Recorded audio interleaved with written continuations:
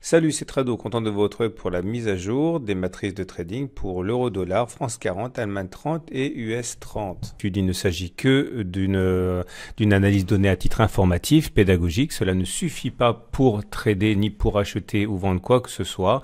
Vous devez avoir euh, à votre disposition vos propres signaux d'achat et de vente pour pouvoir exploiter ces matrices qui en tant que telles, encore une fois, ne suffisent pas. On va commencer donc par la matrice du CFD à risque limité sur l'euro-dollar en données 4 heures. Chaque bougie correspond à 4 heures de cotation. Et voilà ce qu'on disait la semaine dernière. Entre 1.11.07 1.10.24, les traders chercheraient sans doute les signaux baissiers qui se présenteraient. Euh, au-dessus, par contre, ils chercheraient les signaux haussiers. La tendance était haussière puisque nous étions au-dessus d'une moyenne mobile à 20 périodes qui montait. Voilà ce qui s'est produit. Ça a pris du temps, mais finalement, les cours sont venus toucher en fin de semaine la zone. Il y a une un premier signal ici euh, avec une attaque baissière. Par contre, depuis, on a entamé une nouvelle attaque de la zone des 1.11.07, 1.10.24 et il n'y a pas de signe de faiblesse pour l'instant sur cette zone. Pour la semaine prochaine, je considère que les 1.11.07, 1.10.24 correspondent à la zone où les traders chercheront des signaux baissiers. Au-dessus, ils chercheront des signaux haussiers. Et les 1,0999, 1,0918 correspondent à une zone où les traders chercheront sans doute des signaux haussiers. En dessous des signaux baissiers, la tendance est toujours haussière avec la M20 qui monte. Consensus client euh, acheteur à 55%. On passe à la matrice du France 40 présentée la semaine dernière, toujours en données 4 heures. La tendance était baissière avec une moyenne mobile à 20 période qui descend et en dessous de laquelle on se situait. J'expliquais que les 55-95, 55-31 seraient une zone où les traders seraient à l'affût des signaux baissiers. Au-dessus, ils chercheraient des signaux haussiers.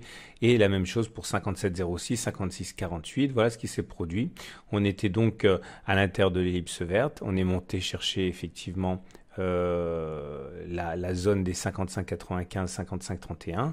Euh, on n'a pas eu visiblement de tir de barrage. On a traversé comme dans du beurre cette zone pour aller rejoindre la zone suivante des 57-08, 56-48.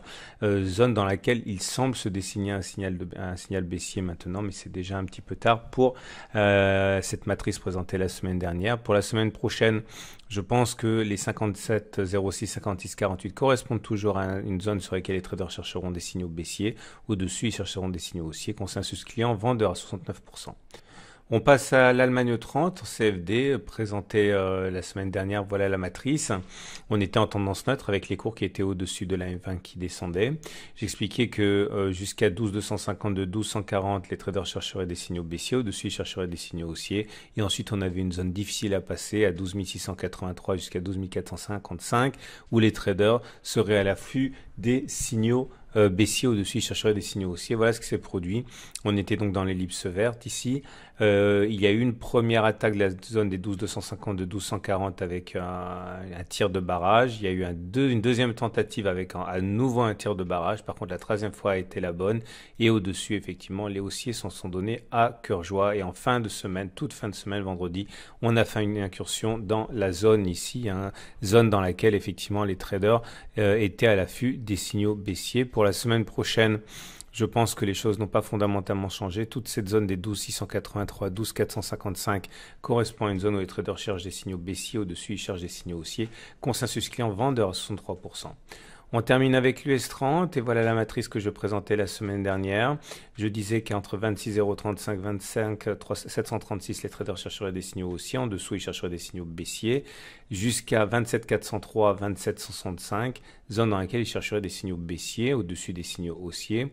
Euh, voilà ce qui s'est produit en fait on a commencé par décliner, on a rebondi quasiment au point près sur la zone des 26,035, 25,736, avec à la clé une véritable envolée euh, de l'US 30, et on n'a pas été chercher la zone des 27,403, 27,165, zone dans laquelle les traders auraient cherché des signaux baissiers. Pour la semaine prochaine, je pense que rien ne change, hein, les 26,035, 25,736 en toute zone où les traders cherchent des signaux haussiers, jusqu'à 27,403, 27,65, où les traders chercheront des signaux baissiers, consensus client, vendeur à 67%.